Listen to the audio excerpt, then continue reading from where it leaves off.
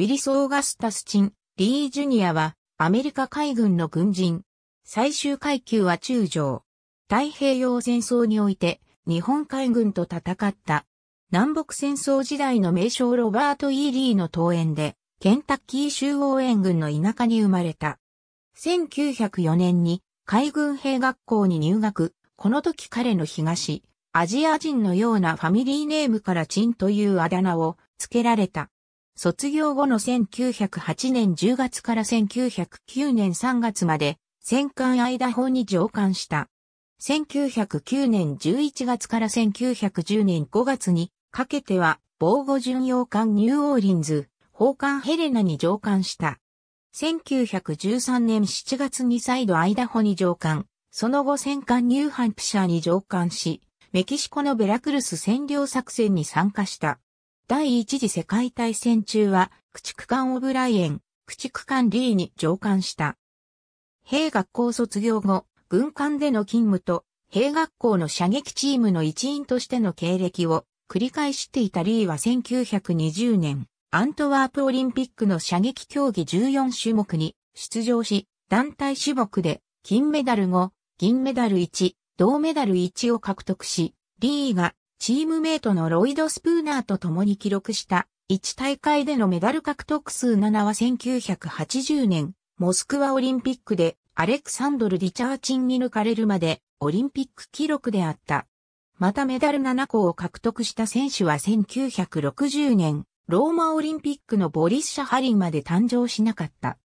1920年代終わりにリーは海軍大学校に入学し、1936年には大佐となりその後、軽巡洋艦コンコードの艦長などを務めた。リーはアメリカ海軍における戦艦傭兵の第一人者で、法術の権威であった。第三次ソロモン海戦1942年初めには、少将に昇進した。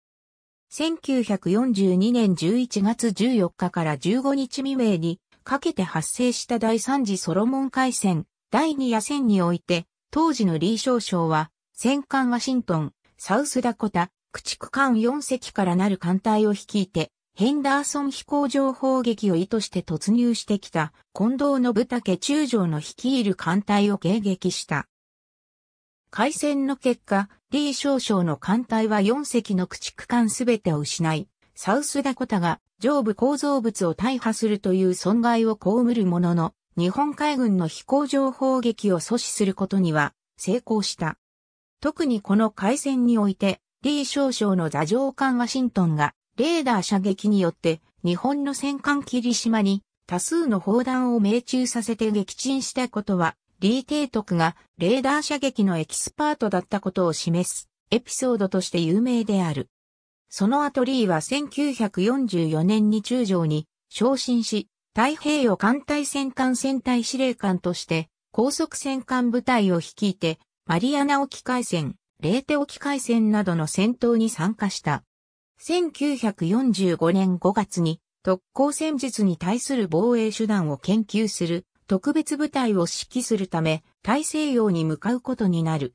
しかし、日本がポツダム宣言を受諾した10日後、戦艦アイオワの艦上で心臓発作により死去した。ありがとうございます。